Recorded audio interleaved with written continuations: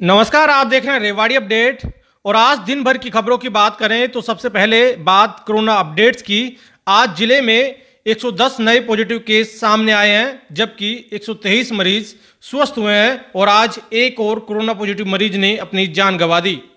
ज़िले में अभी तक उनचास सैंपल्स लिए गए हैं। इनमें से चार हज़ार आठ नागरिक कोविड 19 पॉजिटिव पाए जा चुके हैं, जबकि तीन हज़ार पाँच सौ तेईस नागरिक अब तक स्वस्थ हो चुके हैं, जबकि 26 नागरिकों ने अब तक अपनी जान गंवा दी है।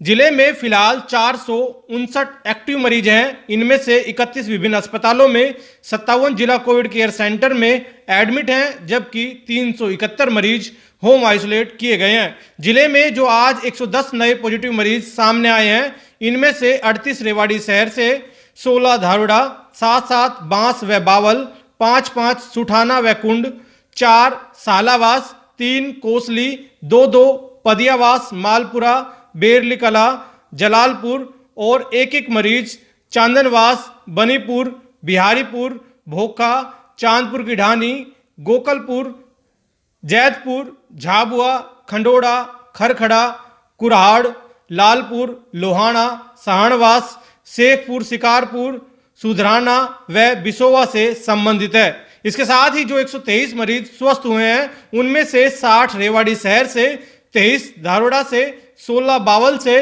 पाँच पाँच खोल व कोसली, तीन गुगोड़, दो दो बालधन कला, गोलिया का और एक एक मरीज़ जैतड़ावास, जोनावास, करनावास, पहलादपुर, आसलवास, पालावास, शेखपुर, शिकारपुर से संबंधित है।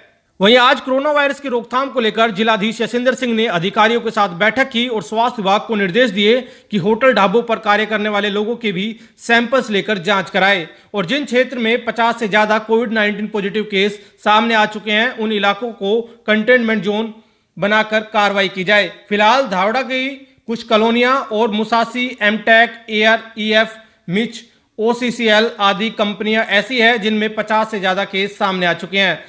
इसके साथ ही जिलाधीश यशिंदर सिंह ने कहा है कि सेक्टर 18 गर्ल्स कॉलेज में डेडिकेटेड कोविड सेंटर बनाया हुआ है। कॉलेज में परीक्षाओं को लेकर बैरिगेटिंग करके अलग से व्यवस्था करने के निर्देश भी जिलाधीश ने दिए।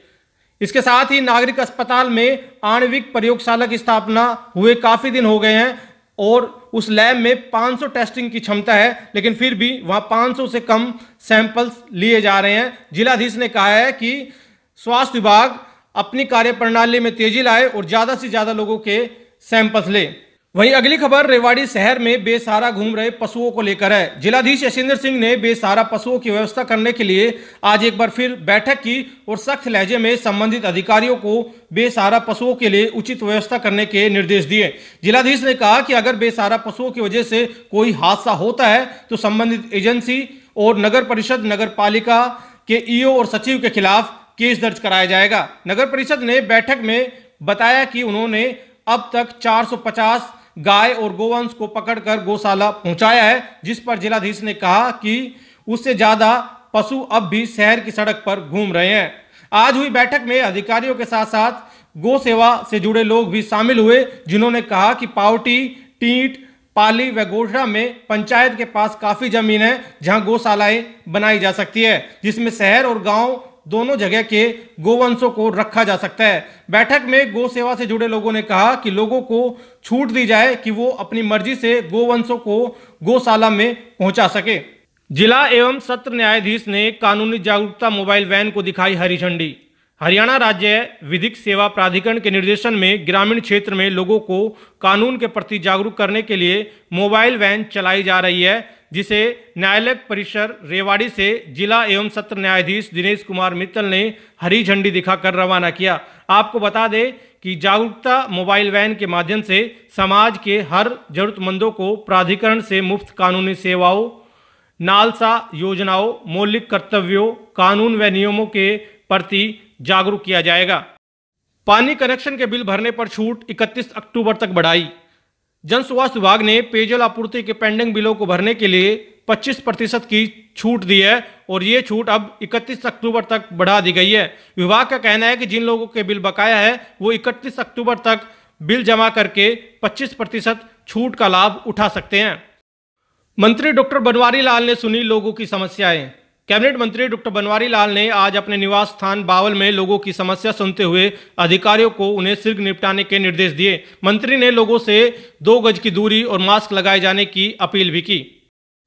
ई सचिवालय पोर्टल के माध्यम से डीसी ने सुनी शिकायतें।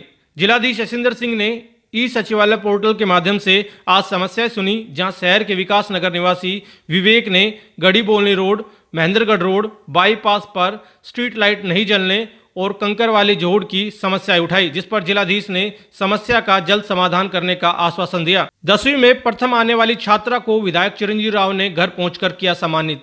रेवाड़ी विधायक चिरंजीव राव ने आज गाँव कालुवास पहुंचकर हरियाणा बोर्ड की दसवीं कक्षा में ज़िले में प्रथम स्थान पर आई भूमिका यादव को सम्मानित किया और ग्रामीणों की समस्या सुनी। विधायक ने भूमिका यादव को सम्मानित करते हुए कहा कि बड़े गर्व की बात है कि आज के समय में हमारी बहन बेटियाँ हर क्षेत्र में आगे बढ़ रही है। चिरंजी राव ने इसके साथ ही देश की अर्थव्यवस्था और बेरोजगारी के मुद्दे पर बीजेपी सरकार पर निशाना भी साधा। एटीएम बदलकर ठगी करने वाला आरोपी गिरफ़्तार। धारोड़ा में कंपनी कर्मचारी का एटीएम कार्ड बदलकर ठगी करने के मामले में सीआईए टू की टीम ने जिला नूह के गाँव सिरोली निवासी तारिफ को गिरफ़्तार किया है, जिसके पास एक कार भी बरामद की गई है। आरोपी को पुलिस ने कोर्ट में पेश कर दो दिन का पुलिस रिमांड लिया है, ताकि उसके दो साथियों तक पहुँचा जा सके और जो ठगी के पैसे हैं, उसकी बरामदगी की जा सके। इसके साथ ही बीती रात शहर के मेहरवाड़ा में एक युवक ने हवाई फायरिंग कर दी और मौके से फरार हो गया। पुलिस ने शिकायत के आधार पर केस दर्ज कर आरोपी की तलाश शुरू कर दी है। इस घटना से मोहल्ले में दहशत का माहौल है। फायरिंग की वजह आपसी झगड़ा बताई जा रही है।